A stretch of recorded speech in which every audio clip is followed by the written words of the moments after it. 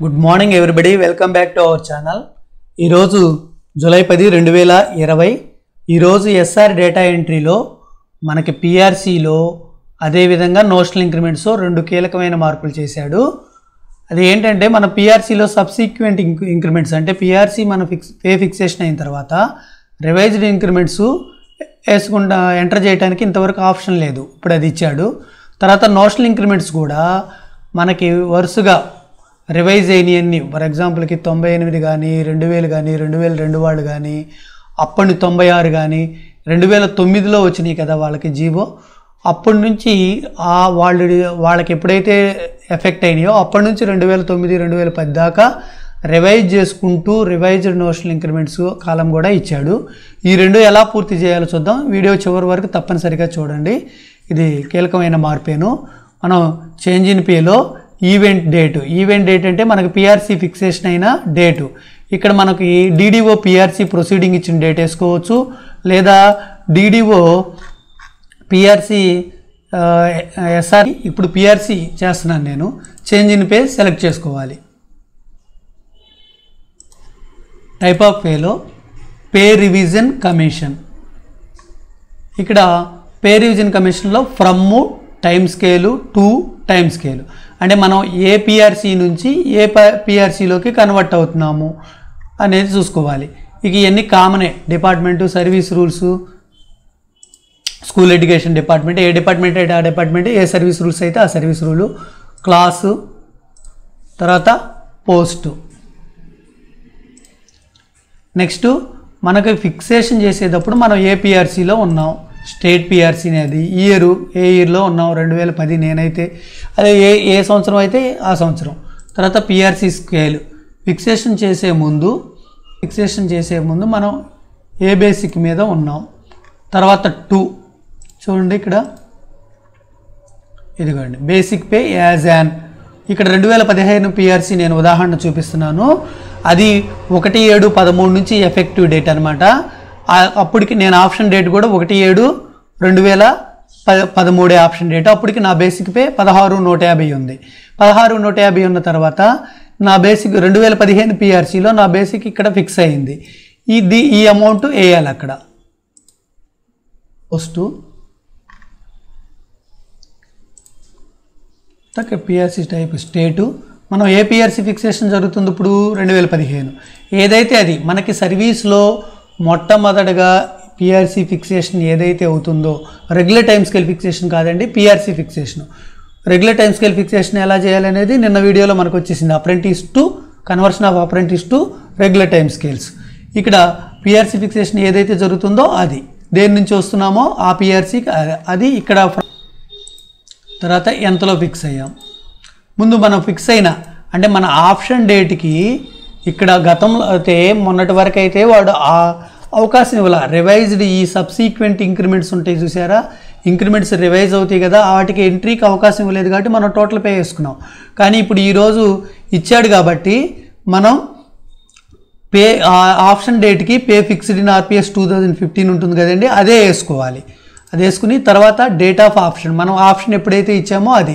అది ఎస్ఆర్ ఎంట్రీలో ఉంటుంది date of option ఉంటుంది. ఒక్కొక్కరికి కొంతమంది ఏంటంటే డేటా అంద మామూలుగా అయితే one seven two thousand thirteen నుంచి ఎఫెక్టివ్ అవుతుంది పిఆర్సీ రెండు వేల పదిహేను అనేది. అదేవిధంగా ఏ పిఆర్సీ ఎప్పటి నుంచి ఎఫెక్టివ్ అవ్వాలి అన్ని పిఆర్సీలు మీకు డౌట్ ఏదన్నా ఉంటే మనకి ఈ లింక్లో ఈ సర్వీస్ బుక్ లింక్ ఉంటుంది కదండి? ఈ లింక్లో మనకు చూడండి. ఈ లింక్లో మొత్తం అన్ని పిఆర్సీల ఎఫెక్టివ్ డేటు మానిటరీ బెనిఫిట్ కూడా ఉంటుంది. ఇంకా మీకు పే స్కేల్స్ కూడా కావాలంటే ఇక్కడ పిఆర్సీల ఏఎస్లు ఉంటాయి. అదేవిధంగా విత్ ఎఫెక్టివ్ డేట్ ఉంటుంది మానిటరీ బెనిఫిట్ డేట్ ఉంటుంది మాస్టర్ స్కేల్స్ కూడా ఉంటాయి. వీటిని ఉపయోగించి మనం చేసుకోవచ్చు. కాబట్టి ఇక్కడ డేట్ ఆఫ్ ఆప్షన్ అంటే అది one seven two thousand thirteen date of next increment అంటే మనం ఆప్షన్ డేట్ ఉంది కదా ఆప్షన్ డేట్ తర్వాత వచ్చే మనకి నెక్స్ట్ ఇంకా అదే అవుతుంది మనకి. ఇప్పుడు మీకు మనకి ఇక్కడ చూడండి ఫైల్లో ఉంటుంది కదా ఎఫెక్టివ్ డేట్స్ ఉంటాయి మానిటరీ బెనిఫిట్ డేట్లు కూడా ఉంటాయి. మనకి రెండు వేల పదిహేను పిఆర్సీ మాన్ మానిటరీ బెనిఫిట్ డేటు రెండు ఆరు రెండు వేల పద్నాలుగు. అది ఎంటర్ చేసేస్తాం. ఎంటర్ చేసిన తర్వాత ఇక ఇది మనకి ఇక్కడ ఫిక్స్ అయింది. ఆ తర్వాత ఇక్కడ మనకు ఎస్ఆర్ ఎంట్రీ మనకు చూసినట్లయితే ఎక్స్ట్రాక్ట్ ఇక్కడ ఈ బేసిక్ మీద ఫిక్స్ అయిన తర్వాత మళ్ళీ మనకి ఒకటి పది రెండు వేల పదమూడు ఒకటి పది పది రెండు వేల పద్నాలుగు రెండు ఇంక్రిమెంట్లు వచ్చినాయి నాకు. ఇక్కడ సబ్సీక్వెంట్ ఇంక్రిమెంట్స్ లేదా రివైజ్డ్ ఇంక్రిమెంట్స్ అని మనకి ఎస్ఆర్ ఎంట్రీలో రాస్తారు. వాటిని మనం ఎక్కడ ఎంటర్ చేయాలంటే ఇది కొంచెం చూడండి revised on pay fixation revised pay అని ఉంటుంది. దాంట్లో దాంట్లో మనకి ఎఫెక్టివ్ డేటు తర్వాత పిఆర్సీ టైపు పిఎస్కేలు తర్వాత బేసిక్ పే సెలెక్ట్ చేసుకోవాలి. ఇంకా రెండు మూడు ఇంక్రిమెంట్లు ఉన్నాయి అనుకోండి ఇక్కడ యాడ్రో యాడ్రో కొట్టుకుంటూ ఉండాలి. చూడండి ఇక్కడ నాకు పిఆర్సీ బేసిక్ ఫిక్స్ అయిన తర్వాత నాకు రెండు ఇంక్రిమెంట్లు ఉన్నాయి. కాబట్టి ఈ రెండు ఇంక్రిమెంట్లు ఒకటి ఒకటి పది రెండు వేల పదమూడు. కాబట్టి ఎఫెక్టివ్ డేట్ దగ్గర ఒకటి పది రెండు వేల పదమూడు. PRC type state. తర్వాత ఇయర్ బేసిక్ పే. చూడండి ఫస్ట్ ఫిక్సేషన్ అయిన తర్వాత ఫస్ట్ బేసిక్ పే ఇది. ఫస్ట్ ఫిక్స్ అయిన బేసిక్ పే ఉంటుంది కదండి దాని తర్వాత బేసిక్ పే. ఇది ఒక రివైజ్ అయిన ఇంక్రిమెంట్ తర్వాత యాడ్రో కొట్టాలి. యాడ్రో కొట్టిన తర్వాత రెండో సబ్సీక్వెంట్ ఇంక్రిమెంట్ ఇట్లా ఎన్ని ఇంక్రిమెంట్స్ ఉంటే అన్ని యాడ్రోలు కొట్టుకోవాలి. చూడండి ఒకటి పది రెండు వేల పద్నాలుగుకి. తర్వాత బేసిక్ పే రెండో రివైజ్డ్ ఇంక్రిమెంట్ ద్వారా మనం ఏ బేసిక్ పేలోకి వెళ్ళిపోయామో ఆ బేసిక్ పే ఎంటర్ చేయాలి.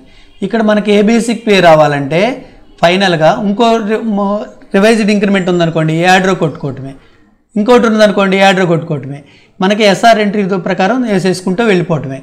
ఇక్కడ ఫైనల్గా మనకి ఏ బేసిక్ పే వస్తుందంటే మనకి టోటల్గా మనకి పిఆర్సీలో ఏ పే స్కేల్ మనం లాభ పొందామో ఏ బేసిక్ పే లాభ పొందామో ఆ బేసిక్ పే వస్తుంది. వచ్చేసిన తర్వాత సేవ్ కొట్టేసుకోవటమే. సేవ్ కొట్టేసిన తర్వాత do you want submit pay revision details అయిపోతుంది. సేవ్డ్ సక్సెస్ఫుల్లీ తర్వాత క్లోజ్ కొట్టేసుకోవాలి. ఇది ఒక పిఆర్సీ రెండు వేల పదిహేను. ఇట్లా ఎన్ని పే పిఆర్సీలు మనం లాభ పొందున్నామో సర్వీస్లో అన్ని పిఆర్సీ విజన్ కమిషన్లో మనం ఎంటర్ చేసే మార్పు తర్వాత మనకు వచ్చే ఇంకో మార్పు ఏంటంటే నోషనల్ ఇంక్రిమెంట్స్ నోషనల్ ఇంక్రిమెంట్స్ రెండు వేల ఆరు రెండు వేల ఎనిమిది డిఎస్సి వాళ్ళకి రెగ్యులర్ అయిన టైంతో పాటే వచ్చినాయి. ఆ తర్వాత రెండు వేల రెండు వేల రెండు కానీ తొంభై ఎనిమిది కానీ తొంభై ఆరు కానీ రెండు వేలు కానీ వాళ్ళందరికీ రెండు వేల తొమ్మిదిలో వచ్చినాయి నోషనల్ ఇంక్రిమెంట్స్ అందుకని నోషనల్ ఇంక్రిమెంట్స్ ఏం జరుగుతుంది? మొత్తం రివైజ్ చేసుకుంటా రావాల్సి వస్తుంది పే. ఆ ఆప్షన్ కూడా మనకి ఇచ్చాడు నోషనల్ ఇంక్రిమెంట్స్ వల్ల రివైజ్ అయిన పే మొత్తం ఎంటర్ చేయడానికి కూడా మనకు ఆ ఆప్షన్ ఇచ్చాడు. దానికి మనం ఈవెంట్ డేట్ ఏంటంటే మనకు నోషనల్ ఇంక్రిమెంట్స్ ఎప్పుడైతే మనకి ఎస్ఆర్ ఎంట్రీలో పడినాయో ఆ డేట్ కానీ లేదా మనకి నోషనల్ ఇంక్రిమెంట్ మీద మన డీడీఓ ఇచ్చిన ప్రొసీడింగ్ డేట్ కానీ వేసుకుంటాం. వేసుకున్న తర్వాత చేంజ్ ఇన్ పే కొట్టుకుని యాడ్ కొట్టుకుంటాం. యాడ్ కొట్టిన తర్వాత నోషనల్ ఇంక్రి ఇక్కడ దీంట్లో టైప్ ఆఫ్ పేలో నోషనల్ ఇంక్రిమెంట్ సెలెక్ట్ చేసుకుంటాం. సెలెక్ట్ చేసుకున్న తర్వాత first stay PRC type state తర్వాత ఏ పిఆర్సీలో మనం నోషనల్ ఇంక్రిమెంట్ తీసుకుంటున్నాం అనేది. అంటే మన డే రెగ్యులర్ అయినప్పుడు మనకు వస్తాయి కదా అప్పుడున్న పిఆర్సీ తర్వాత pay scale pay scale select చేసుకున్న తర్వాత బేసిక్ పే అంటే మనం నోషనల్ ఇంక్రిమెంట్ తీసుకునే టయానికి మన బేసిక్ బేసిక్ పే ఎంత ఉంటుంది? అది ఎంత ఉంటుందంటే మనకి రెగ్యులర్ టైం స్కేల్లో ఫిక్స్ అయ్యింది కదండి అప్రెంటిస్ పీరియడ్ అయిపోయిన తర్వాత ఆ బేసిక్ పే అనమాట తర్వాత rate of increment actual pay automatic వచ్చేస్తుంది. ఎఫెక్టివ్ డేటు ఈ నోషనల్ ఇంక్రిమెంట్ ఎఫెక్టివ్ డేట్ ఏంటంటే మనం రెండు సంవత్సరాలు చేసినందుకు రెండు నోషనల్ ఇంక్రిమెంట్ వస్తాయి. మొదటి సంవత్సరానికి ఒక నోషనల్ ఇంక్రిమెంట్ రెండో సంవత్సరానికి ఇంకో నోషనల్ ఇంక్రిమెంట్ ఇక్కడ రెండు వేల ఆరు రెండు వేల ఎనిమిది డిఎస్సి వాళ్ళకి రెగ్యులరైజేషన్తో పాటే నోషనల్ ఇంక్రిమెంటేషన్ కూడా నోషనల్ ఇంక్రిమెంట్స్ కూడా ఫిక్సేషన్ జరుగుతుంది. ఇప్పుడు చూడండి నాకు మొదటి సంవత్సరానికి ఒక ఫోర్ ట్వంటీ రెండో సంవత్సరానికి ఇంకో ఫోర్ ట్వంటీ నోషనల్ ఇంక్రిమెంట్ వచ్చింది. కాబట్టి మొదటి సంవత్సరం అంటే ఏంటి? నేను జాయిన్ అయింది ఎప్పుడు? పంతొమ్మిది పది రెండు వేల పది అవుతు రెండు వేల తొమ్మిది అవుతుంది. ఎఫెక్టివ్ డేట్ నాకు. అది. రెండు వేల తొమ్మిది అవుతుంది. ఆటోమేటిక్గా నెక్స్ట్ ఇంక్రిమెంట్ డ్యూ ఎప్పుడు అవుతుంది? పంతొమ్మిది పది రెండు వేల పది. వన్ ఇయర్ కంప్లీట్ అయితేనే కదండి నోషనల్ ఇంక్రిమెంట్ వచ్చింది ఇక్కడ ఆటోమేటిక్గా సరిపోతుంది. ఎవరికైనా ఇలాగే ఉంటుంది. Date of joining effective date ఏమో డేట్ ఆఫ్ జాయినింగ్ ఎయిట్వే ఫస్ట్ నోషనల్ ఇంక్రిమెంట్కి రెండో నోషనల్ ఇంక్రిమెంట్కి వచ్చేసరికి రెండో సంవత్సరంలోకి ఎంటర్ అయిన డేటు తర్వాత డేట్ ఆఫ్ మానిటరీ బెనిఫిట్ అంటే ఇది అందరికీ ఒకటే ఉంటుంది. ఏడిఎస్సి అయినా సరే డేట్ ఆఫ్ రెగ్యులైజేషన్ దగ్గర నుంచే మానిటరీ బెనిఫిట్ ఉంటుంది. రెండు వేల ఆరు రెండు వేల ఎనిమిది డిఎస్సి వాళ్ళకి.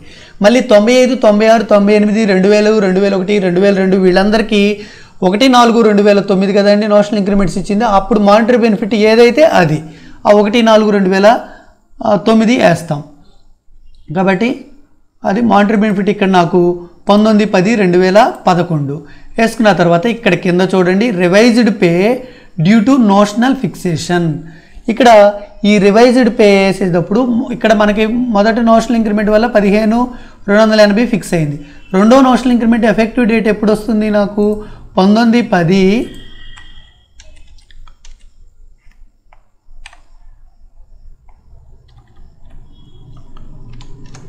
రెండు వేల పది ఎఫెక్టివ్ డేటు తర్వాత PRC type state year PRC year రెండు వేల పది రెండు వేల పది పిఆర్సీలోనే ఉన్నాం.